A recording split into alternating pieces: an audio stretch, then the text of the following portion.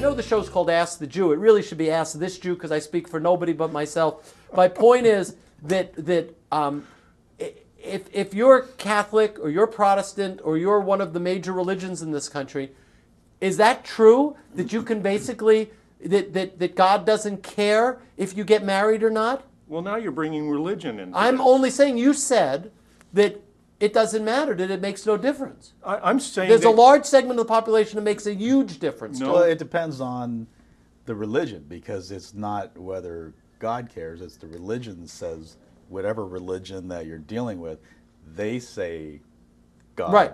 And there are a, a piece of massive amount of people in this country who are very religious. Now, we're here in Los Angeles, basically the sin area of the entire world.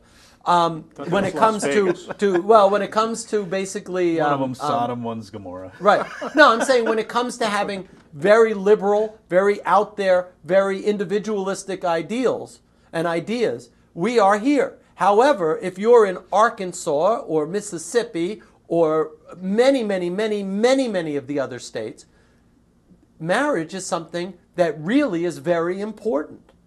And so all I'm saying is you need to separate out. If there were no financial ramifications, if a marriage contract was purely about love, and if you don't love, you split up and that's it, would you then be for the marriage contract?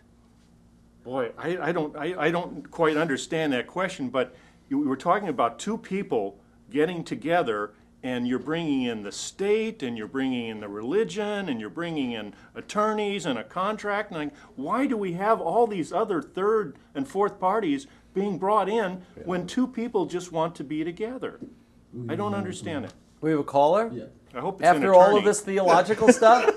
Anyway, I don't mean to, by the way, I just want to say, I don't mean to pick on you, Scott. No, no, you're Part playing of what- devil's advocate, and I understand. No, no. Part of what I'm trying to do on this show, and part of what either I'm going to do with callers or with people who are foolish enough to sit in, um, is is is is I want to get to the root Yes. of where the belief comes from because. I'm not invalidating your belief, and I'm not saying I don't even agree with you. What I'm saying is that.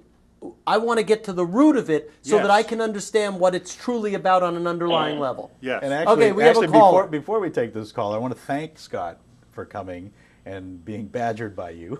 oh, I'm not being badgered. no, I'm kidding. I- but Scott is with the Sweet Lou and Friends show, and uh, he saw your Oh. show, and we wanted to bring him on to Scott, I'm happy to have you. Promote that. Now, you're not Sweet Lou, you're one of the friends. Correct. Okay, good. Correct.